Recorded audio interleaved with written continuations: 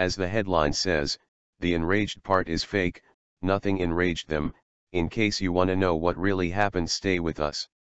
Yahoo reported that outside the Phoenix Convention Center on Tuesday, hundreds of supporters and protesters gathered in triple-digit heat hours before President Trump was set to speak. Jim Williams, head of the local Bikers for Trump chapter, told Yahoo News they were there to keep the peace. He said, We're just hoping to see everybody get in and out of the rally without being accosted and harassed and hurt and intimidated. The Antifa said, We're out here today to provide support for our friends, our comrades, and to the community at large. When a pro-Trump supporter said if you come to an event like this and you're wearing a mask, you have inappropriate intentions.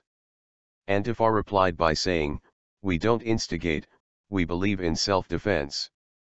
So if they come at us spewing their hate speech, spitting at us, instigating, pushing or otherwise trying to push through people who are doing the same thing that they are practicing their free speech rights we're going to retaliate.